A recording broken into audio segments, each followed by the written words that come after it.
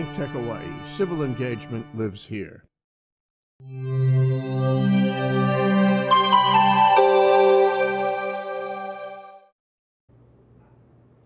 I knew you were coming back to our show because you were so excited about last time our volume one of the nature of uh, surface and substance of the architecture of the University of Hawaii Manoa. So welcome back to Human Humane Architecture here broadcasting live from our sometimes educated exotic tropical paradise of Honolulu, Hawaii and once again with your favorite uh, guest slash co-host, co-host slash guest, DeSoto Brown. Good afternoon to you. Bishop Museum historian. Thank you. Myself, Thank you. Martin Thank you.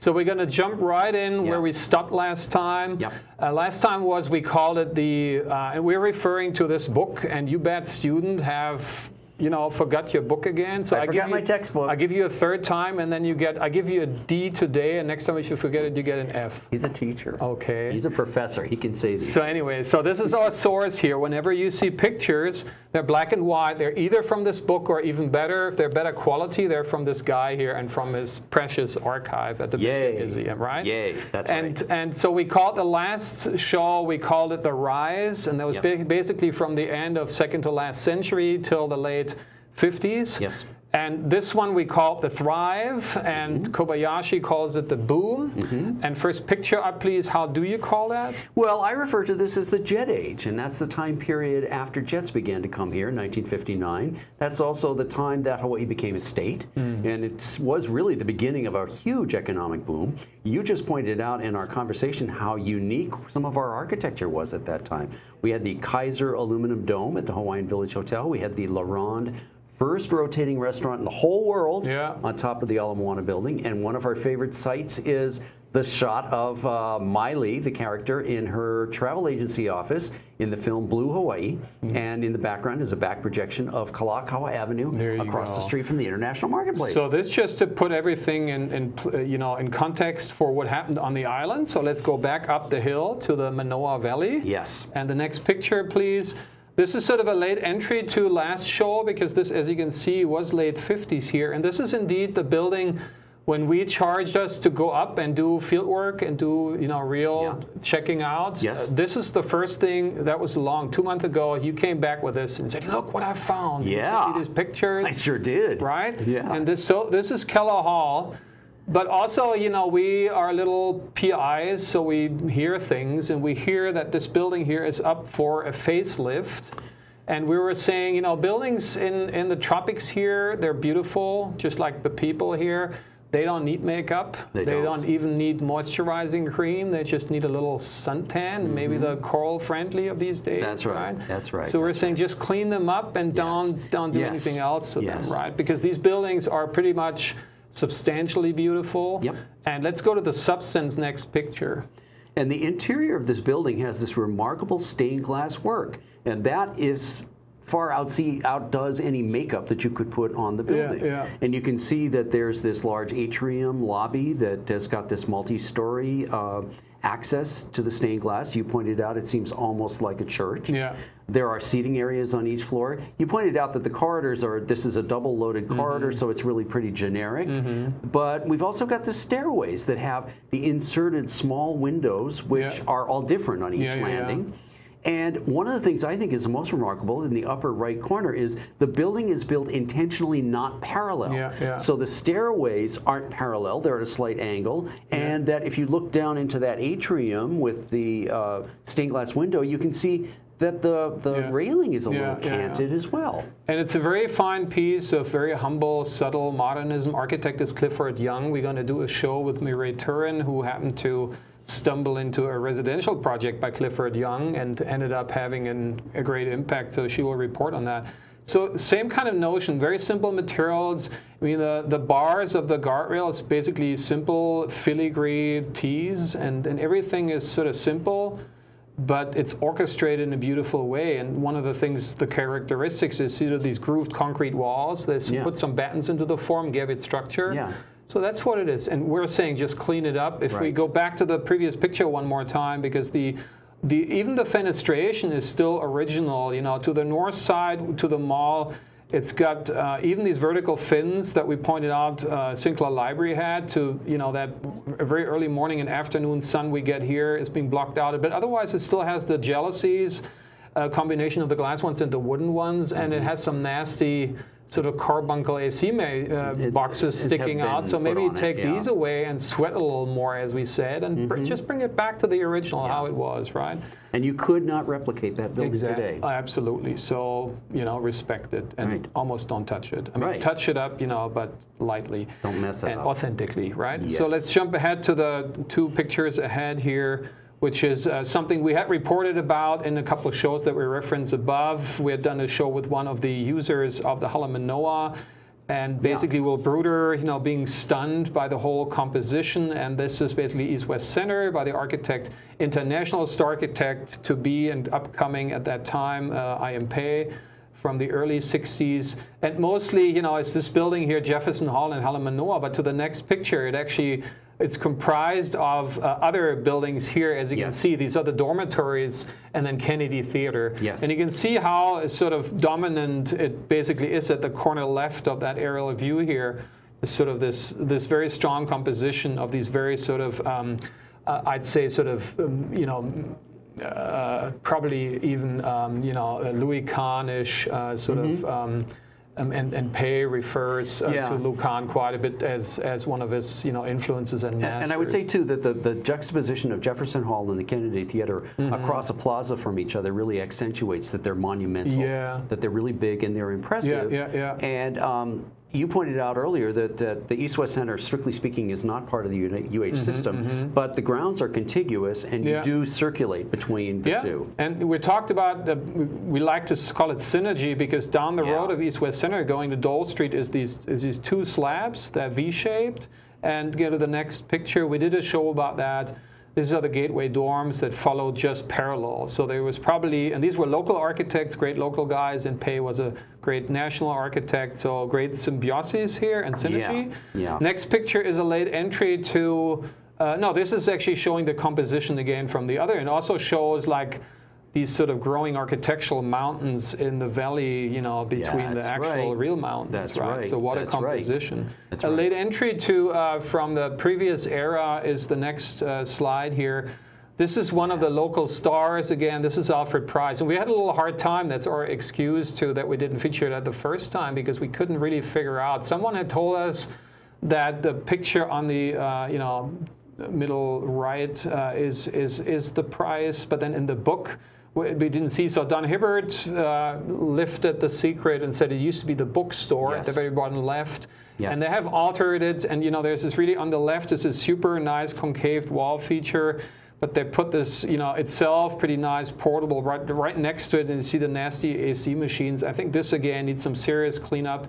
And we got some serious scholars here. There's, uh, you know, um, um, Jack Gilmer and my colleague Laura McGuire together with Don Hibbard writing a book about Preis, and so you know, there's an increased appreciation about this uh, this architect. So UH, please be aware of that. Absolutely. Sort of bring it back to what it was. Yeah, right? and he's most famous for being the architect of the Arizona Memorial at Pearl yeah, and the the only other client who treats buildings uh, of it badly is the zoo, which I'm looking at in my front yard, and Yeah. it seems like this is doomed to be like you know demolition by denial, and That's it's on right. the, it's on the register, so hopefully not. But we need to teach that client too as well. That's right. So jump ahead, uh, go back to this building here, and that, that row, that color row of pictures at the second from the top is what intrigued us the most. And we're about to say this is one of our favorite buildings because this feels really tropical. There's our concrete walk wall.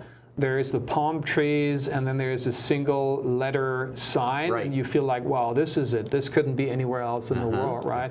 And it's sort of almost distracting you from that. That's just the little sort of Correct. That's you just the, that's just the first, first it, it floor is. era. And behind that is a pretty chunky, pretty big building that's pretty international style, but it's designed exotically correct with large, Mm-hmm. uh, you know, walkway lanais. So it's it's doing it right. Correct. But again, look at that how it looked back in the past, where there was this hyper enthusiasm about the cars, and there was almost no vegetation. So it's Right. actually better now than Correct. it was way back, right? right. Right. And we're going to touch on that in the, later in the program. Yeah, yeah. And let's move ahead. And there's some buildings I know this well because they take really good care for, uh, of me. This is the health service buildings here from '63. It's a very sort of a nondescript building, but very modern, like post and beam and breeze block, as you can see, and courtyards as a theme that we. That was the other thing you reported back. You said, "I think there is a theme. Yeah. Courtyards is the theme. I- We're going to that's what I revisit that too." That's right? what I think too. And right. uh, next picture is just like in the last show. We can't be uh, all inclusive here. There's no way we can No. cover. So there's so No. many buildings that you guys got to get out and discover. Correct. And this might be one of them. This is the auxiliary service building that has the same sort of beam structure, uh, post, breeze block infill, uh, and the lava plinth uh, that you point out. Correct. So and the exposed rafters of the um, the canopy Exactly. is out over the parking and these lot. buildings feel very mid-century, very modern, Correct. very site-specific, very much about the place, not in Yeah. a nostalgic sort of pre-contact way, but in a No. post-contact, but in a progressive way. And, right? and and again, that's also space age too. This is yeah, also from that time period. And talking space age moves to the next project Ah, here. uh-huh. This is spacey in many ways. And Yeah, we're that's referring, right. this is Kuykendall Hall, and we refer in the little pictures on the top right, we have featured that building sort of once in our uh, feature about tropical staircases. We figured it out, and it was easy breezy. It had these Z-shaped, you know, um, um, you know, form of the train.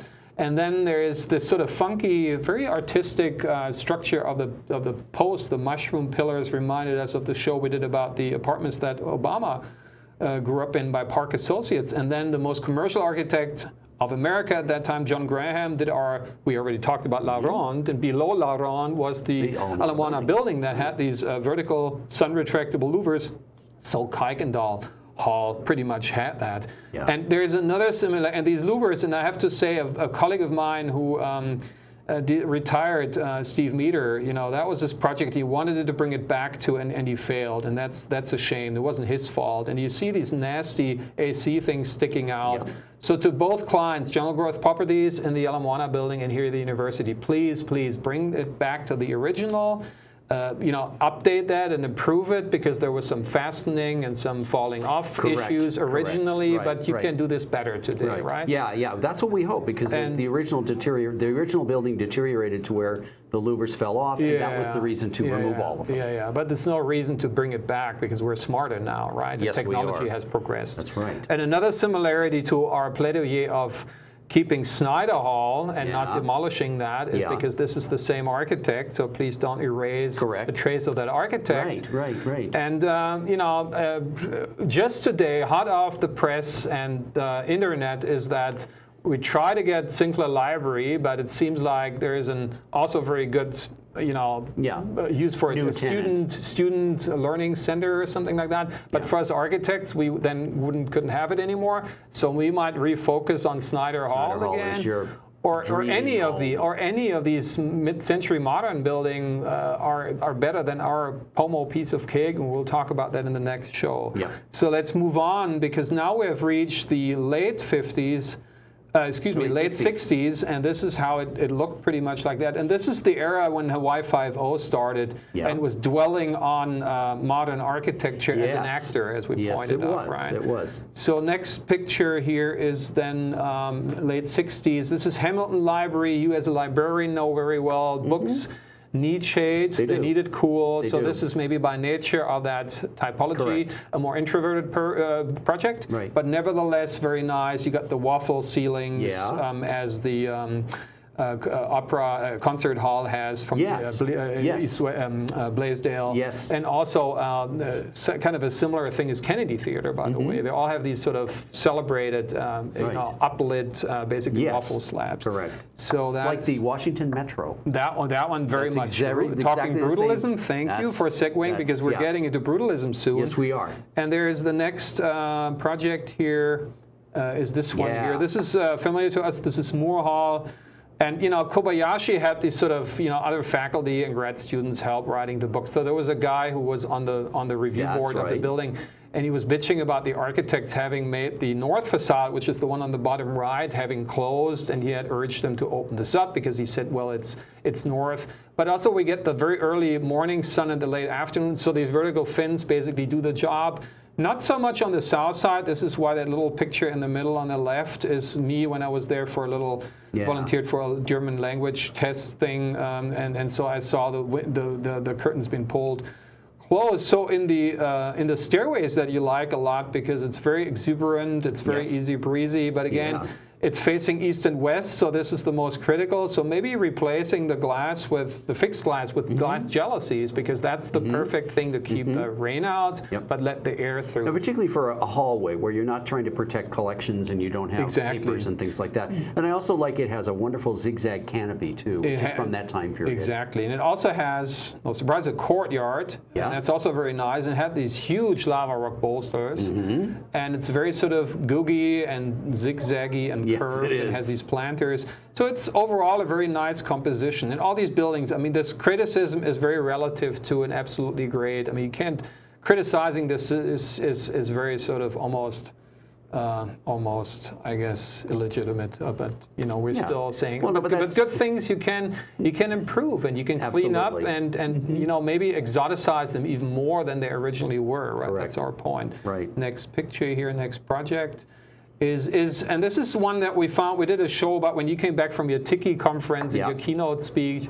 This is one of the few sort of Tiki buildings Mm-hmm. on campus. This is Krauss Hall, which is uh, very. I took the picture on the top right just the other day, poking over that lava rock wall again from Yeah. Street. I see. And you see this sort of idyllic, you know, uh, Right. oasis pond, and it's very tranquil and it's very low key, and and you know um, when um, you know it, it just has this sort of. Um, um, you know, feel of almost. we're talking here to our producer, almost high school feel, like high school Yeah. or, or elementary Yes, schools or does. Kindergartens. It, know. reminds me of my my elementary school years have Yeah. always like that. Yeah. But this is also a botany building, and it is nice for that to be focused on an exterior scene uh, where you're seeing plants. Yeah, and it seems customized to this nice Mr. Krauss up there, who was this botanist. So it's a very low key, very humble, very tropical building. You know, Yeah, very very tropical. Very nice. So nice next- scale too. Exactly. So next picture is now we're going big because these were our local architects recently, and now we're going to architecture nationally.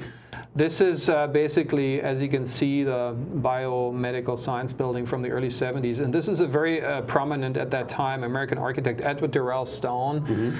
Who, um, you know, looking back, he's sort of a little dismissed as a little sort of a funky, uh, sort of a flamboyant Yeah. kind of gentleman architect. He did a lot of U.S. embassies, by the way, so Oh, he was very uh, Okay. impactful. Yeah. I've seen, you know, in Nebraska in my days, he did the Stuhr Museum, which is very similar actually to this one here. Mm-hmm. And one of my really favorite ones is in Chicago at Millennium Park, the original Standard Oil building, then Amoco, and I think now Aon, which is this sort of very sort of uh, slender.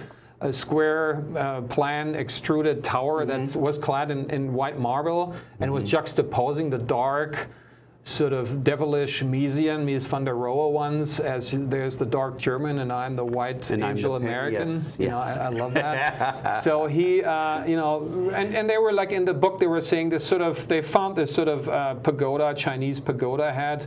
A little funny and and the ornament but the ornament is is not literal like we do it Correct. these days with these chevrons it's Right. just simple geometrics and you might see something alluding to some Mm-hmm. Asian culture, but maybe not. And it has courtyards, and these courtyards are spectacular. And it was so much fun to take these pictures for us, right? Yeah, and also the, it is in a very prominent location at the end of East West Center Road. So I think it's appropriate to have a building that is, is that prominent and Yeah. significant Yeah. as something to look at as you look down the road. Yeah, and talking prominent next picture here. We're talking about previously about I.M. Pei sort of mass popularizing the Lou Kahn Mm-hmm. philosophy. For me, it's always the firm that did the same to uh, basically Mies van der Rohe, just talking about him, is Skidmore Owings Merrill at his time. This is one of the, still is and was one of the big players in architecture, Yeah. national firm. So they Yeah, came yeah, here, did Moore Hall, and Moore Hall is also, you know, many say it's not one of the best um, SOMs, but if you look at it, I, I appreciate and acknowledge the generosity of hallways of Yeah. circulation that not only there are these niches built in to sit, but you can say these, these hallways are so large that they allowed outdoor uh, learning. Yeah. Uh, um, and the fire marshal is still okay because you still got your You've three, got- four feet where you can to get egress. Yeah. And, and it has these two courtyards, and there are actually suggestions to basically uh, build more space and to enclose these two courtyards which I'm very much warning again. No. Um, John Hara, about whom we t- will talk uh, soon, has a nice uh, proposal with his daughter Mayumi right now to only enclose the courtyards within or densify within the square elevators. So you would actually uh, sort of get four little courtyards, Yes, and I find yes. this very sensitive instead Yes. of blocking the whole thing. And Correct. This is something again. It's it's a very nice utilitarian, but in the recognition of outdoor space, also very tropical, exotic. And unfortunately, outdoor building. space often is seen as a waste. Absolutely, and that's why I'm saying very generous times. Right. Exactly. And we will see in the next show that wasn't the case No. anymore when that era here ended. No. It was the opposite. Move on to the next picture here. This is, uh, we did a previous show, uh, Tonya Moy did here about uh, the architect Stephen Oyakawa who did these dorms. And also, Will Bruder was very impressed. The architect worked for Frank Lloyd Wright. You can see that. When I talk to students who live in there, they acknowledge sort of these very funky shade uh, features Mm-hmm. for the windows. Something we learned from that as far as critical assessment is that with uh, Primitiva, who's also a circular Yeah, yeah, building, yeah. we gave it an interior courtyard. Yeah. That one doesn't have, so it Yeah. gets a little stuffy in there. Yeah. But again, that's relative criticism to an awesome project right. here. Right. And Move- unique looking. Exactly. Move on to the next one here. And this is Campus Center here. And Campus Center um, was uh, designed by uh, Ishihara, who um, was uh, working with Warnecke, who is the architect of our capital here. And um, so this is a project here that um, we will have Richard Lowe uh, talking actually about the word the Wart Wonder World, we will call it. So it's a different subject where we'll quiz him on that one here as well because he's involved in so many things. So looking forward to that. I took that picture at the bottom left as sort of a post-occupancy evaluation mm-hmm. because that was one of the days when power was out on campus. Yeah. And people were basically escaping their interiorized, hermetic Right. AC classrooms because they were suffocating. Right. Right. And Yeah. they went to naturally they gravitated towards these easy breezy spaces. Right, right. And that was one. And then even when the power stayed out longer, some of the devices went out, and guess what? People started to talk to each other again and breathe, right? And breathe. And wasn't that awesome? Yes. So moving on, and you know, this we're we're like now uh, truly in in the 70s, and this is familiar to you because you live in a house by that architect. Yeah, so this is Ossipoff. And I think, is this the building that they just painted recently? As you unfortunately see Yeah. the pictures on the, they do the spalling repairs, so I can understand that you know you you're still in trouble and trying to keep the corrosion because there isn't enough concrete over Right. the rebars. But at the bottom, at the bottom right. They're painting the, the ceilings, they're way inside, and there's never humidity getting to them. Mm-hmm. So I'm afraid this is they just want to put makeup on. We They go are back doing to makeup, that. and we have to ask. They're they're saying, you know, Sid Snyder, who's the late partner of Ossipoff, who we had on the show over the summer, our Docomomo members. We got to ask him because they claim he had okayed it, and it's just a shame because brutalism wants to be pure. Uh, there's a, there's an awesome article by one of our previous Yeah. showmasters, you know, Timothy Schuler, about the brutes from the from the beach. That's right. And you guys all read that awesome article. Right. And when you did, you will never put makeup on a brutalist building. So I would almost say stop this here and now. I agree with you completely. You know. It's supposed to be raw concrete. Yeah. That's the whole purpose. Yeah, and, and the next project is shows you to what extent that sort of brutalist, um, you know, uh, tropical brutalism was infused into even the most sort of profane typologies as that big parking garage in That's Dole right. Street. They were even doing it to that one, and even that one has an awesome uh, courtyard. Yeah, right. Next project here is uh, the arts building on campus here. And it's it's a building that was by um, you know group the beginning of Group 70, which is one of the biggest firms here. Group 70 Lab. There was Gordon Teal. I remember he gave a talk story at Yeah, yeah, yeah. and he was talking about how much fun they had. They basically outsourced the guy into teaching then, too, because he was becoming too problematic and was sort of interfering with the business of the firm. We have our tropical tourism guest uh, Suzanne here, and she just gave me this this shirt here.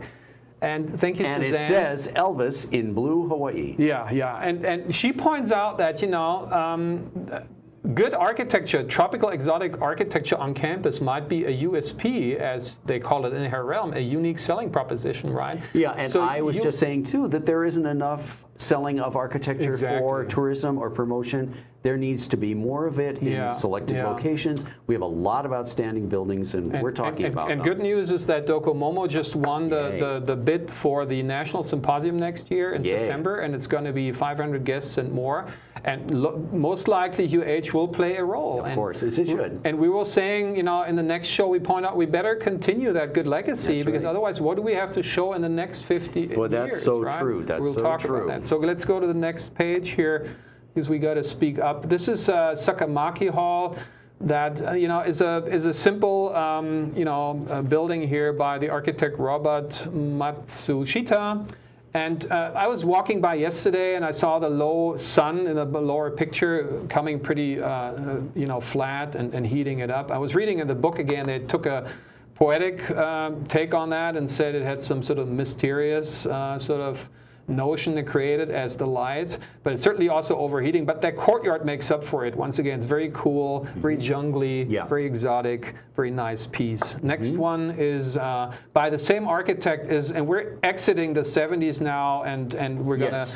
Close the show with one of the early 80s, but we choose this one because it's still keeping up the integrity of the 70s and not doing what the 80s unfortunately became known for, which Yeah. you see in the next show.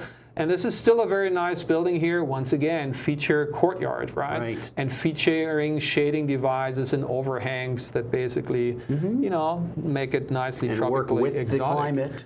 And what does uh, as well work with the climate? Next picture, because here is our Yeah. uh, landscape uh, enthusiast, tree our tree enthusiast. Correct. What does he have to say? Well, he has to point out that the uh, the campus of the UH Manoa campus has a lot of unique trees, a lot of interesting trees. They were planted specifically because it was uh, a place that studied botany of the tropics. Mm-hmm. But the trees themselves not only add to the campus, in some cases they are even more noticeable than some of the buildings are.